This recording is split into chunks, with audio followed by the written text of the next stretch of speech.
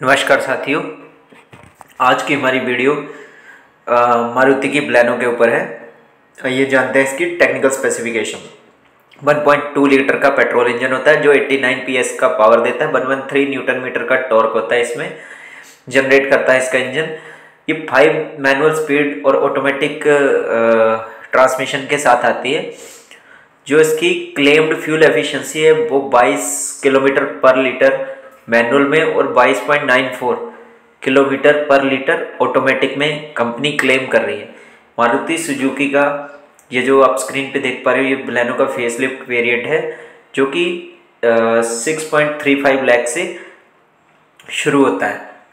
1.2 litre का petrol engine है, जो कि 89 पीएस की पावर प्रोड्यूस करके 113 न्यूटन मीटर का टॉर्क जनरेट कर रहा है। Did you know the all new 2022 Maruti Suzuki Baleno is the first car in the Indian hatchback segment to feature with heads-up display unit and 360 degree view camera.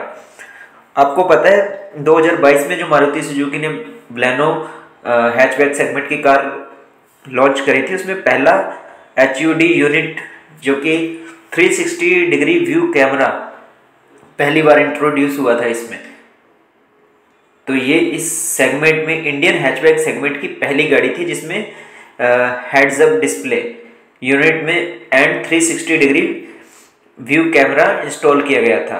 तो ये प्लानों के लिए uh, या मारुति के लिए एक बहुत बड़ी अचीवमेंट थी जो इसी प्रोडक्ट पे उन्होंने अप्लाई की थी।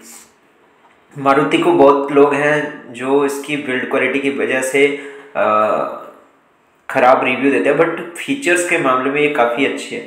हालाँकि एक कॉमन मैन के लिए फीचर्स इतना इम्पोर्टेंट नहीं होता है क्योंकि फीचर बाद में आता है बिल्ड क्वालिटी पहले क्योंकि अगर गाड़ी है तो उसमें फैमिली के लिए डिज़ाइन करी गई है और फैमिली को कोई भी रिस्क जोन में नहीं डालना चाहता है। इसलिए मारुति की थोड़ा सा अपनी बिल्ड क्वालिटी पे भी और सेफ्टी पे अच्छा काम करना बहुत आ, बहुत ज़रूरी है। अदरवाइज़ अभी तो कस्टमर को ये उस सेगमेंट में खेल रहे हैं कि अफोर्डेबल रेंज में गाड़ियाँ दे रहे हैं। बट धीरे धीरे क्या हो रहा है? यंग जनरेशन का माइंडसेट चेंज हो रहा है और सेफ्टी को लेके हर कोई अलर्ट हो रहा है। कोई भी अपनी फैमिली को खतरे में नहीं डालना चाहता।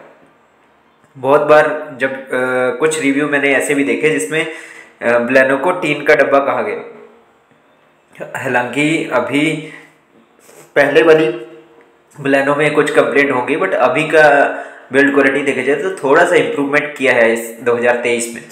अब अंदर का इंटीरियर देखते हैं इसका। इसमें प्लस डुअल टोन इंटीरियर आता है ऑटो डिमिंग आईआरबीएम आता है ऑटो क्लाइमेट कंट्रोल एसी आता है, इसके साथ साथ smart play pro plus infotainment system Baleno में प्रोवाइड किया जा रहा है मारुति के द्वारा। और इसमें leather wrapped flat bottom steering wheel flat bottom steering wheel ज़्यादातर आपको स्पोर्ट्स कार में ही देखने को मिलेगा, जैसे लैम्बोर्गिनी बुगाटी फरारी इस तरह का स्टेयरिंग अक्सर उन्हीं गाड़ियों में देखने को मिलता है। बट मारुति ने ब्लैनो में इसको दे, अब तो हर सेगमेंट हर ऑटोमोबाइल प्लेयर इसको दे ही रहा है। अब बात करते हैं वेरिएंट्स की, इसमें ब्लैनो में कौन कौन से वेरिएंट आते हैं? देखिए, इसमें चार वेरिएंट आते हैं Sigma Delta Zeta and Alpha दोबारा रिपीट कर रहा हूँ। Sigma Delta Zeta Alpha. अब बात करते हैं इसकी प्राइस रेंज की। देखिए मारुति सुजुकी ब्लेनो फेसलिफ्ट के सिग्मा वेरिएंट का मैनुअल में 6.35 लाख है डेल्टा का 7.1 लाख 19 लाख है जेटा का 8.09 लाख है और अल्फ़ा का 8.99 लाख है। अब बात करते हैं कलर्स की। देखिए इसमें आ, ये कलर आते हैं pearl arctic white splendid silver grandeur grey celestial blue opulent red and lux beige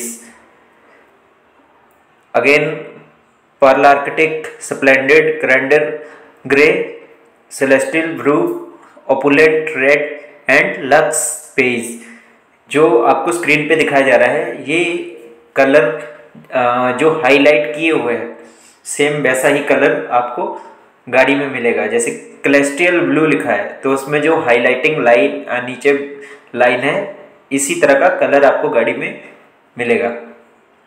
तो आज की हमारी वीडियो ब्लैनो हैचबैक के ऊपर थी तो आई होप इस ब्लैनो के बारे में आपको टेक्निकल स्पेसिफिकेशन के बारे में पता चला होगा।